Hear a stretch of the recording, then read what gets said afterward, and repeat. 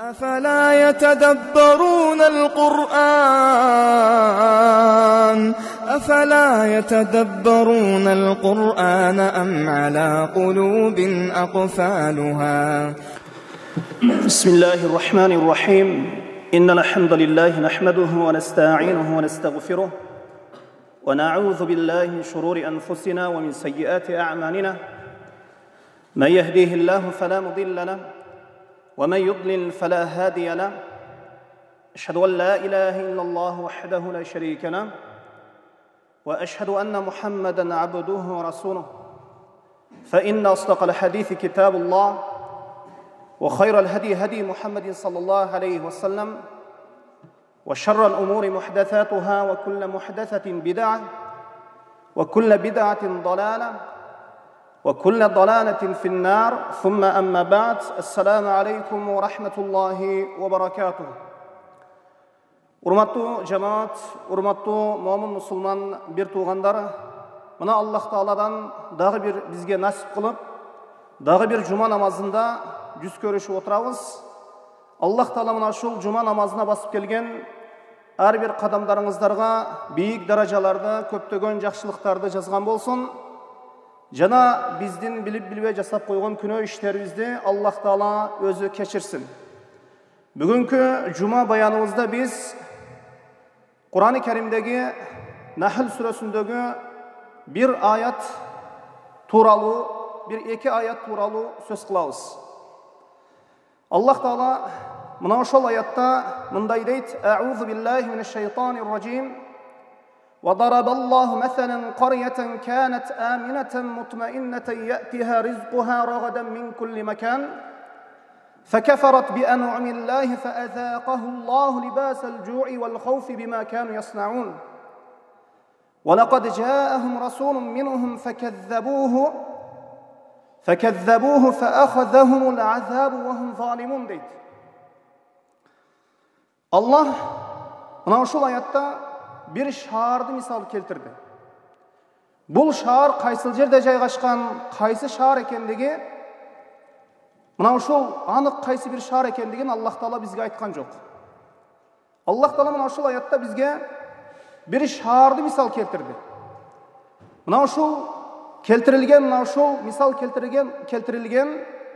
мына ушул шаардан ибрат сабақ алуыбыз үшін бір шаарды мисал келтірді бұл шаар тынч бейпіл рызқысы ар тараптан ағып келіп тұрған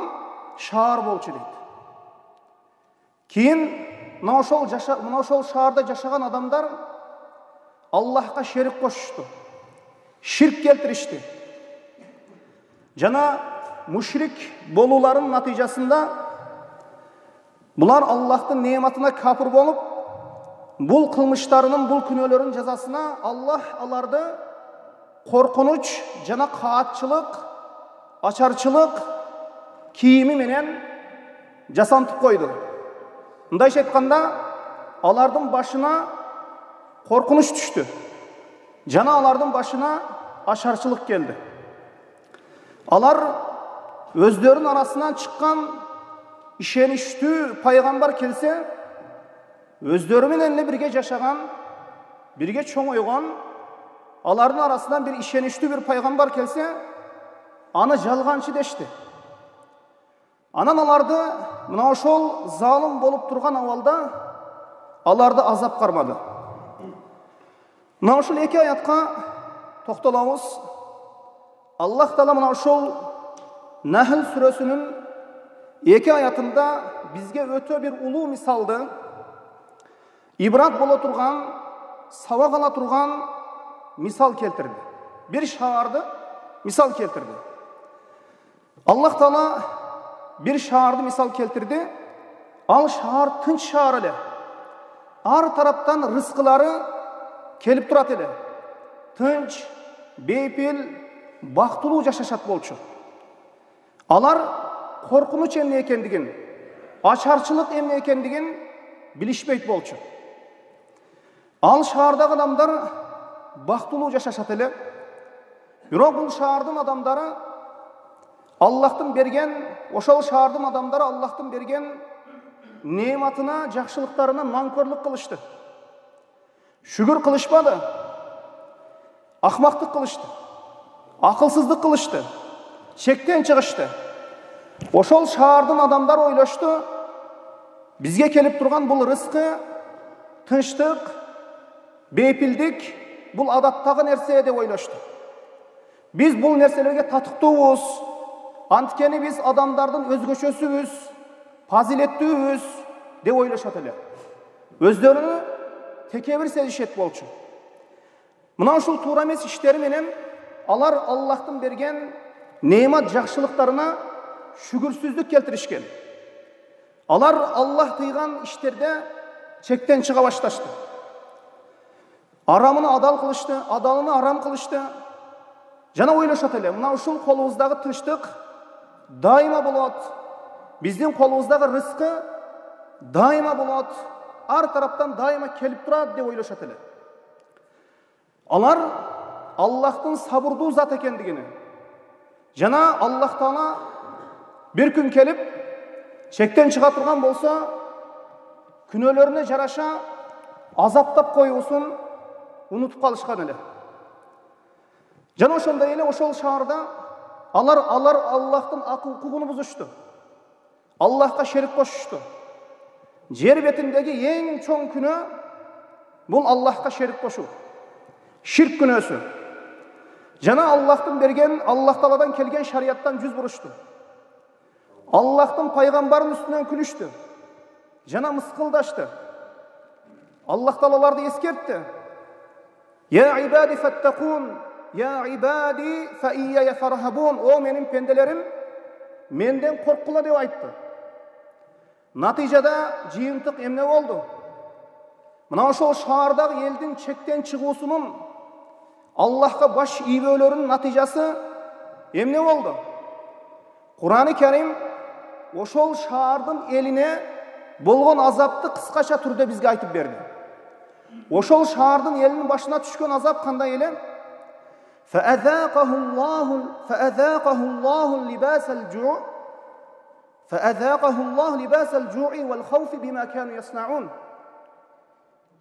мына ушул кылмыштарын жазасына күнөөлөрүнүн жазасына аллах аларды коркунуч менен жана ачарчылык менен балелеп койду эми кайда эми кайда калды жанагы жакшы жашоолору тынчтык колдорунан кетти рызкылары тамак аштары ар кайсы тараптан келбей койду көз ачып жумганча колдорундагы неымат кетип калды аллах таала мына ушундай кадыр зат ушундай улуу зат инсандагы неыматты көз ачып жумгунча жок кылып коет аллах таала мына ушундай кадыр улуу зат инсандын колундагы жок бир неыматты көз ачып жумганча келтирип коет берип коет мына ошол шаардын башына ачкачылык түштү аларды ошол шаарды коркунуч каттап калды жанагы курсактары ток ашказандары толо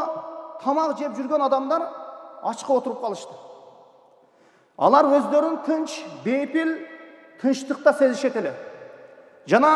үй бүлөлөрү тынч жашашат эле аллах таала коркунуч менен жана ачарчылык менен балелеп койгондон кийин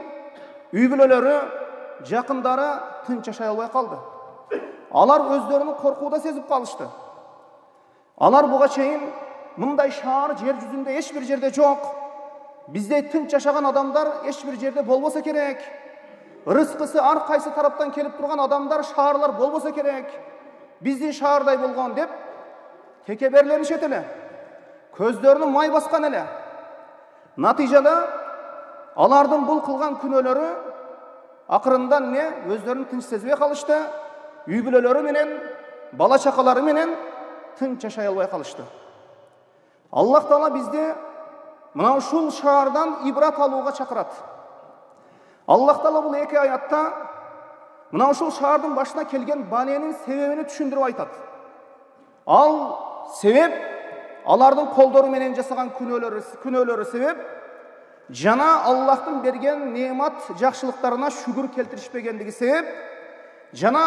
аллахка шерик кошуп аллахтын акыл укугун бузгандыктары себеп. Бұл құранда айтылған нәрсе жөн сөз емес жөн бір икая емес бұл бір ибрат бұл бір сабақ мындан етият болуымыз керек? Аллах тағала бір бекерден бекер бізге бір шаарды тарихта болып өткен алардың башына түшкен ошол адамдар запқы тартқан бәлеленген азапты бір шаарды мисал келтіріп ошол шаарға келген азапты жөннен жөн бір мақсатсыз келтірбейді құранда әрбір нәрсе өзінің мақсатыменен баяндалған аллах тағала мына ошол шаарды бізге мисал келтірді біз ибрат сабақ алуымыз үшін сілер алардың башына түшкен нәрсе сілердің дағы башыңарға түшіп қалбасын дегендей аллах тағала бізді ескертті. Тарих бізге көп нәрселерді айтып береді. Бізге чейінгі адамдардың башына түшкен нәрсе алардың шашы ошол бізге чейінгі адамдардың башына түшкен бәлелер алардың шашын ағартып қойған. Аллах тағала тарихта мына ушундай қоғамдарға бәлелерді жіберген азаптарды жіберген ошол азаптар жаш баланың шашын ағартып қойған. Шашты ақ ағартып қоя тұрған даражадағы ушундай каттуу азаптар келген. Бұл тарих факт. Мұны ешкім жалғанға шығара албайды. Ошондуктан тарихта чектен шыққан қоғамдарға үрөйді ұшырған кишинин ошол қара шашыны ошол ақ қылып қоя тұрған мындайша айтканда төбөсүндөгү чачыны тик тургуза турган мына ушундай азаптар келген. Аллах таала адам баласына токчулукту тынчтыкты бейпилчиликти неемат кылып берди жана ошондой эле эң негизгиси аллах таала пайгамбарларды жиберип адамдарга не туура жолду көрсөттү мына ушул шаардагы токчулукту сезет эле жана айтканыбыздай эле натыйжада чектен чыгышты аларды аллах таала кедейлик менен жакырчылык менен ачкачылык менен балелеп койду эми тарыхта мына пайғамбарымыз саллаллаху алейхи уассаламдан кейін үмметтің башына балелер келген балелер түшкен бұл үмметтің да башына мына ушундай иштер түшкөн біз бұл үшін біз бұл ошол тарихта айтыла тұрған азыркы окуялар біз үшін сабақ болсын қашан мұсылмандар аллахтың шариатына қайдыгер бола баштаса аллах бұйырған бұйрықтарды атқарышпаса жана аллах тыйган нерселерден тыйылышпаса жана аллахка шерик кошо башташса шариаттын чегинен чыга башташса алардын башына дагы бале түшөт башка коомдордун башына бале түшкөн сыяктуу жана ошондой эле ачкачылык коркунуч жакырчылык түшөт тарых аалымдары жана ислам аалымдары мына ибн касир рахимахулла имам аз захаби рахимахулла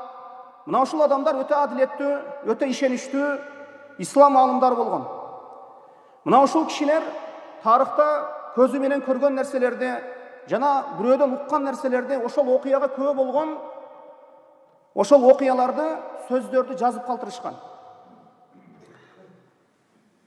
бул фантазия эмес жалган эмес муну айтып азыр бирөөнү коркутуу эмес азыр тарыхтан бир мисалдарды келтирем мұны айтып біреуді қорқыту емес бұл нәрселерден біз ибрат алуымыз керек сабақ алуымыз керек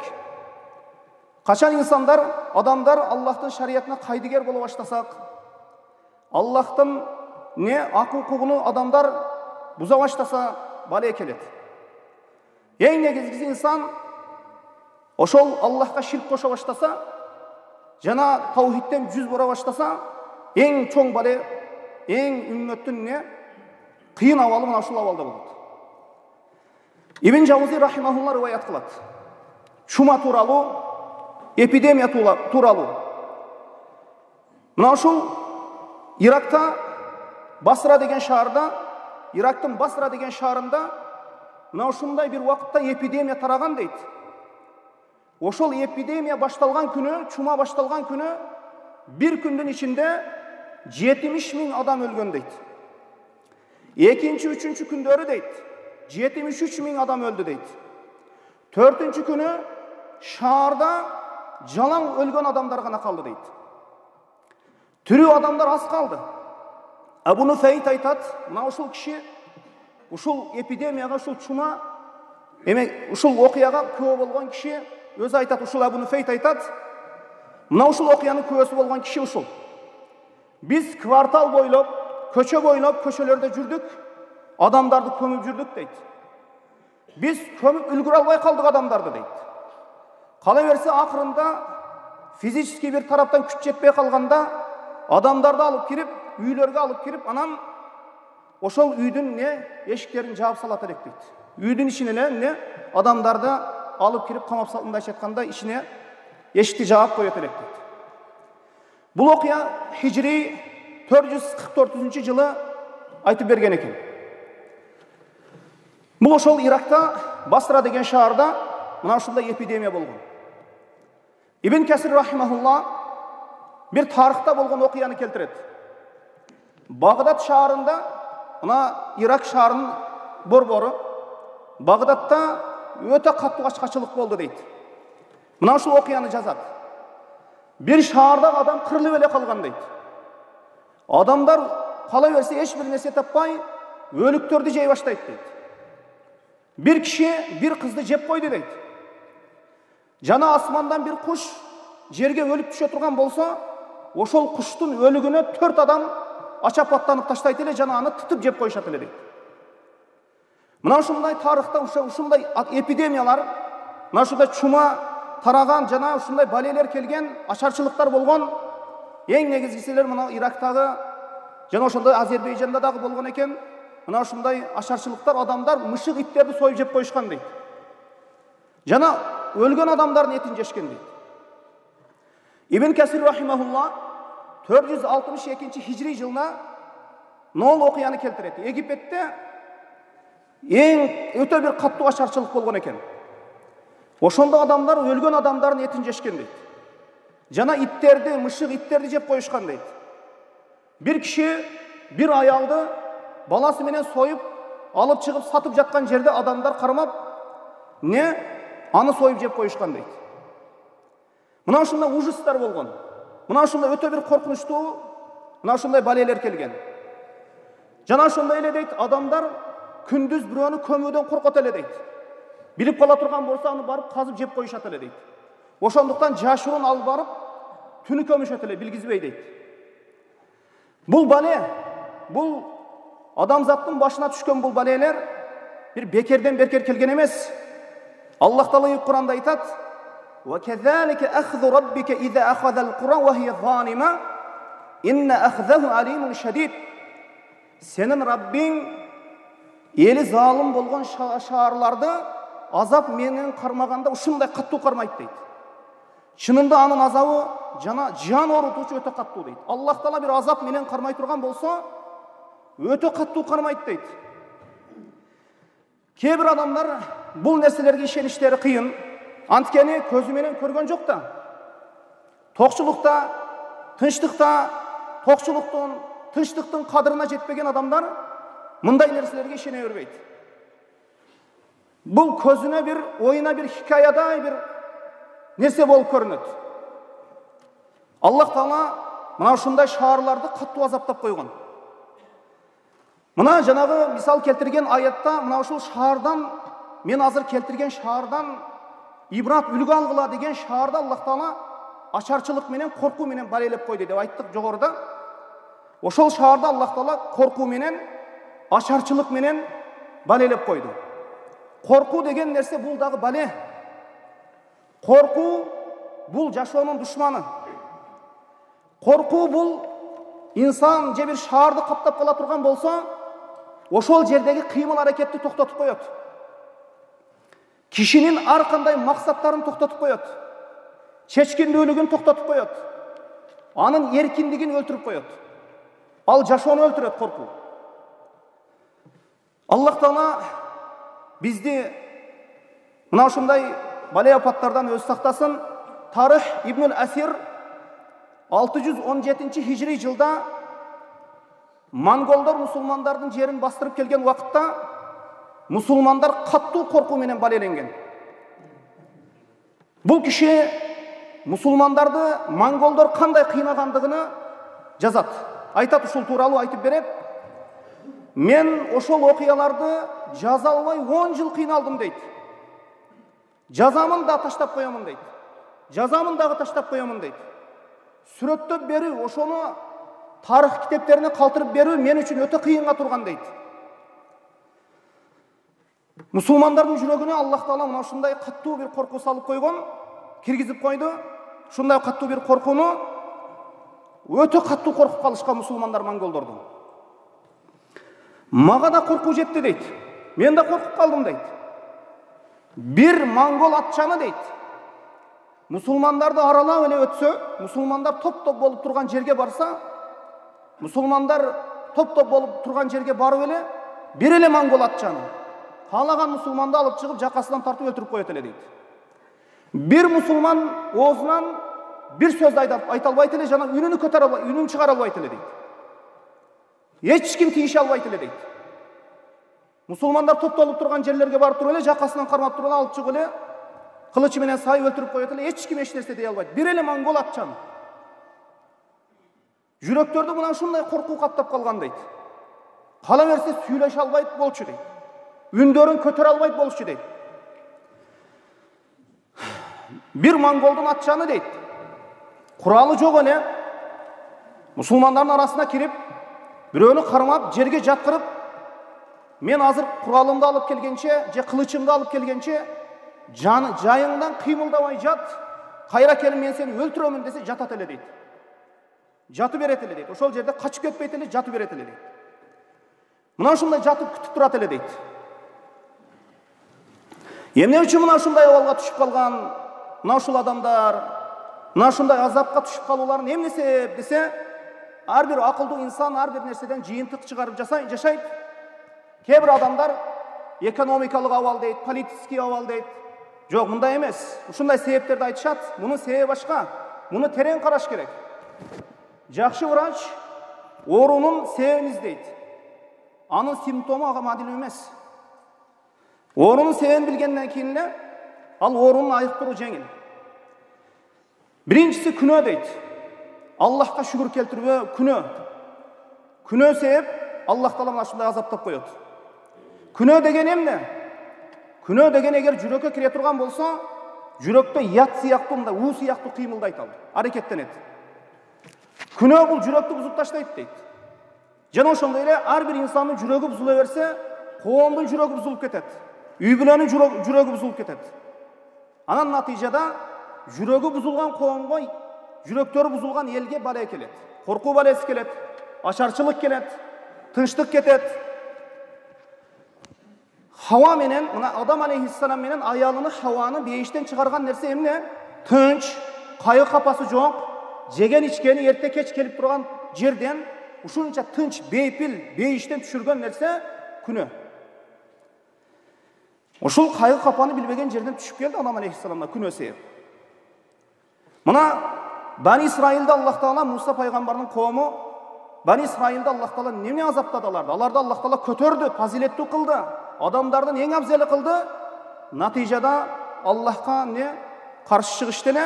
аллах таала аларды залым падышалар менен азаптап койду залым падышалар алардын аялдарын балдарын азаптады худ пайгамбардын коомуна аллах таала шамалды жиберди шамал келип бир адамдын ичиндеги оозунан кире турган болсо ичиндеги нерсени арт тарабынан бүт бар нерсесин алып чыгып алып чыгып койгон мындай алып чыгып кеткен натыйжада ошол коомдун денелери чириген сыяктуу кылып койгон да салих пайгамбардын коому чектен чыккан кезде аларга бир аллах таала бир периштени жиберди келип кыйкырды эле алар жарылып кетти ошол эл мына аллах таала куранда айтат залымдардан бұл азаптар алыс емес дейді аллах тағала әрбір нәрсені өлшеп қойған бар нәрсені көріп тұрады біліп тұрады залымдардан азап алыс емес біздің көзімізге бір азап же бір залымның қылып жатқан залымдығы мындай бұға азап қашан келер екен бұл қашан жазаланар екен деген нәрселер бізге алыс түйіліші мүмкін алыс ойлашуымыз мүмкін. Бірақ аллахқа не жақын. Имам ахмад өзінің мұснадында төменгі оқияны келтіреді. Жүбайр ибн уфайр айтады. Мұсылмандар кипірде кипір аралыны ошол Boş atkanda da şeytkanda büyük kipir alan, kipir aralığını basıp alışkanda kipirdeki adamlar iyilaştı deydi. Kipirdi kolga kiritkende oşol jerde elder iyiladi deydi. Adamlar iyiladi. Oşol jerdeki el iyilaganda Abu Darda radıyallahu anhu bir çekte turu iyiladi deydi. Fatahu Cübeyr ibn Feyr faqala ya Abu Darda fi yawmin a'azza Allahu fihi al-islam wa ahlihi wa azalla fihi al-kufr wa ошондо жубайр ибн файр келип абу дарда сен мына аллах таала исламды күч кубаттуу кылып турса мусулмандарга жеңиш берип турса мынау капырларды кордугуна чыгарып капырлыктын кордугуна чыгарып турса неге ыйнайсың дегенде ошондо абу дарда айткан экен о шорун кургур деген экен да мындайча айтканда.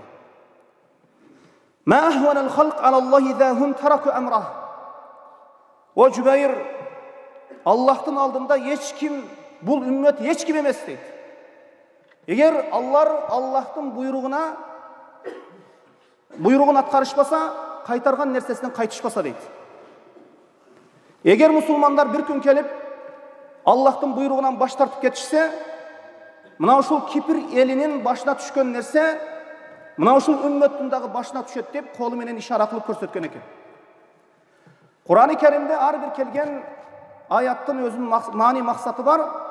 аллах тағала бізге мына ушул бір шаарды мисал келтірді ошол шаар чектен шыққан уақытта аллахқа шерік келтіріп шерік қошқан уақытта аллах тағалаларды қатшылық ашаршылық кедейшілік ошол қорқу менен азаптап таштады мына ошондуктан инсан ойлобосун бул тынчтык бул рызкы менің қолым арқылы келіп жатады деп. Мұны аллах тағала қолымызға беріп қойған. Қаласа бір күн алып қояды қаласа беріп қояды. Мына ошондуктан инсан берілген немат жақсылықтар аллах тағаладан деп біліп сезіп ушул нәрсеге ишеніп шүгүрүн келтіріп жашообуз керек екен. Кыскасы туугандар мына ушул аяттардан мына ушул айтылған нәрселер бізге ибрат болсын сабақ болсын әрбір нәрседен сабақ алып жашайлы бұл жашоодо ақылды инсан ақылын иштеткен инсан әрбір нәрседен